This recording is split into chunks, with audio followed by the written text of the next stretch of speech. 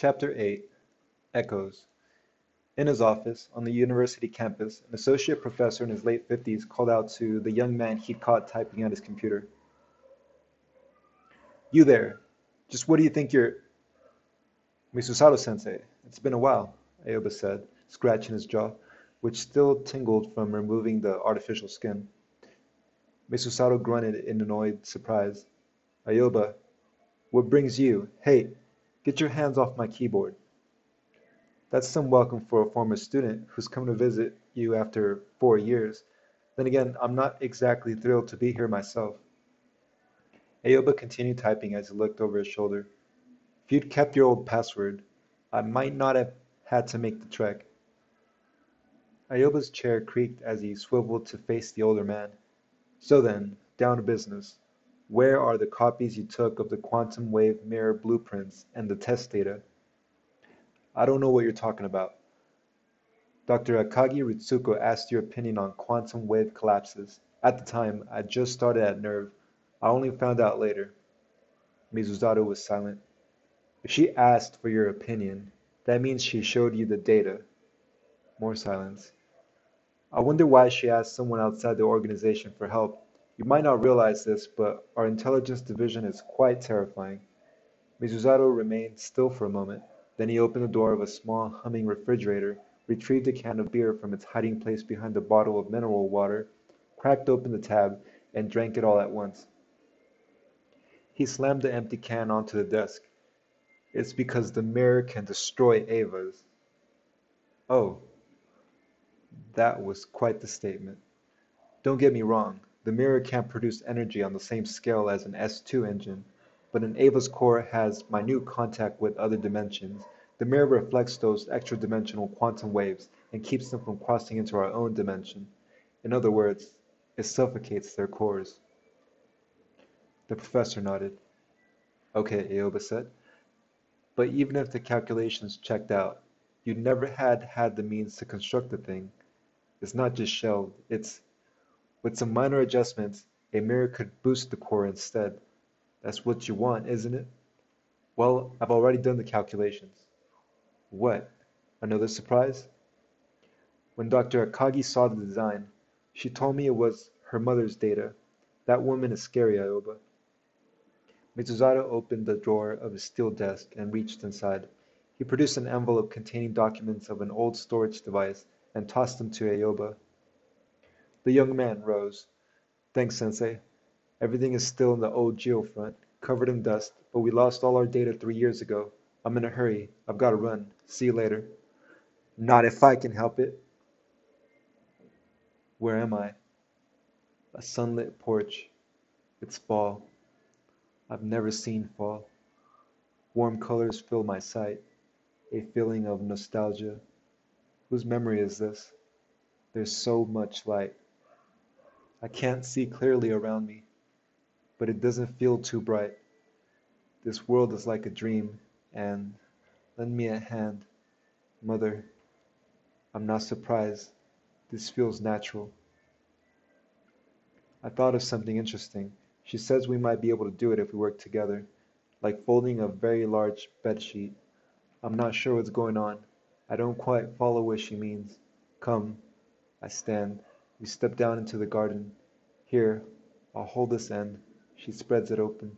Or at least that's the mental image I try to form. Following her motions, I pinch with my fingers and spread my arms wide. A tremendous roar, like an ocean wave crashing onto rocks, thundered through Cage 2. Its vibrations were so strong that they could rattle bone.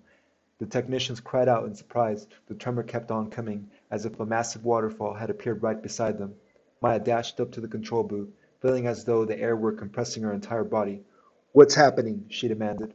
The scientist watching the scanner had turned pale, and her shouted replies disappeared into the noise. I can't hear you. As a general rule, Maya stayed at least two paces away from other people, but this was an emergency. She leaned in and asked again. The S2 engine had vanished, the scientist replied. Could it have gone to the other side? What? If that were true, then all the energy would also be going to the other side, and we wouldn't be able to detect it. Let me see. Maya peered at the display, and her expression changed.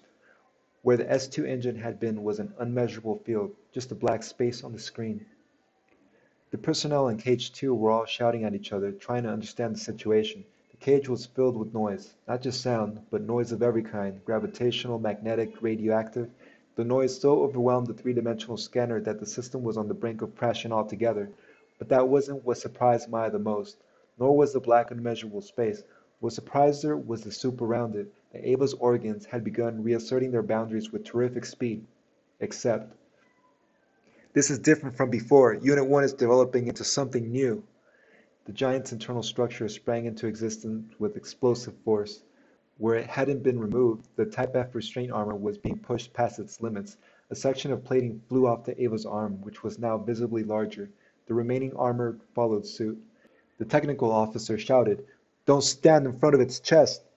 Why not? yelled an engineer. Because of that!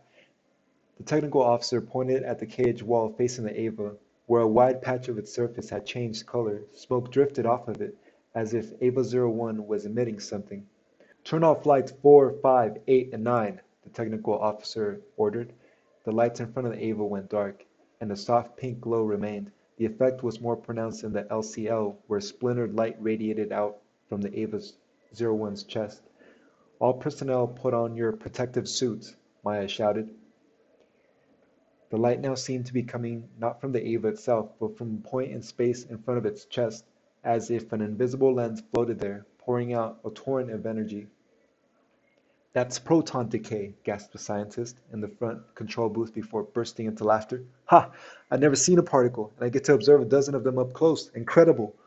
Put on your protective suit, another scolded. Those particles are flying in from extra-dimensional space. As the crew shouted back and forth, excitement and emotions running high, the service bay door slid open.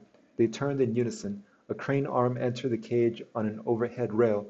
Ten wires hung from the crane, holding an armored chest piece reworked from an abandoned design, the magic mirror that could kill an Eva. The crane brought the mirror to a stop near Eva-01, which was still shedding its own armor. Maya shouted as loudly as she could to be heard over the waterfall roar, waving her arms broadly within her protective suit. Everyone, to me! The scientists tapped each other on the shoulder to pass word along, while the engineers, more used to working in noisy environments, used hand signals. They gathered in front of Maya, a sea of orange protective suits. Is everyone all right? Maya asked, thinking, when did I start worrying about others? Her crew's eyes were wide with fear and excitement. I better have the same look on my face, too. Everyone knew that they were present for something extraordinary. Like everyone standing before her, Maya had been thoroughly soaked by the condensation. She wiped the droplets from her glasses and dried her forehead with a sleeve. Anyone who hadn't joined this team until after the battle at NERV HQ was seeing her smile for the first time.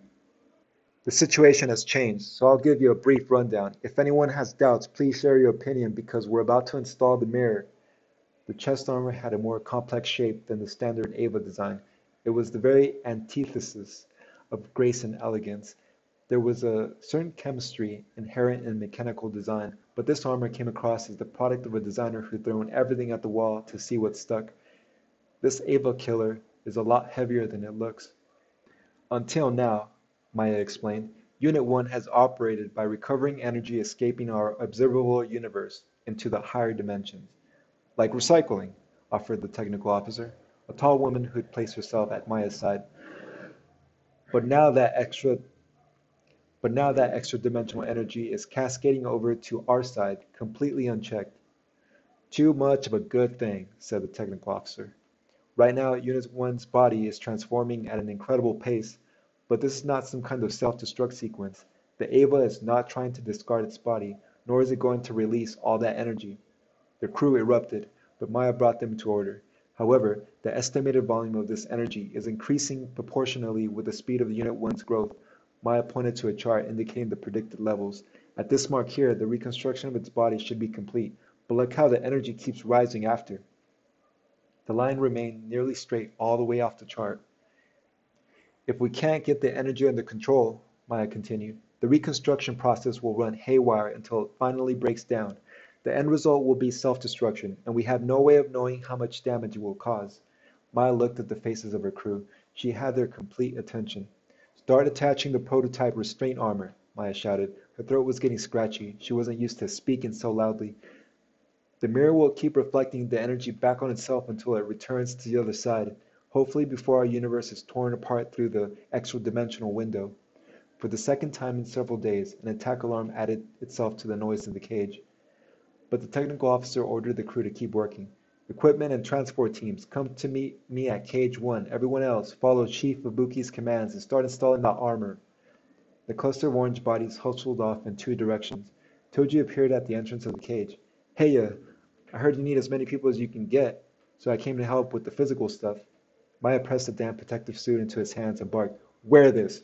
Then with some surprise she added, Why didn't you evacuate? You have a family, don't you? A sister? Yeah, I was leaving because of that, but before we got to the caldera I decided to check in on Shinji, and then Toji unfolded the soggy suit with a look of disgust but put it on anyway. Well, the alarm went off.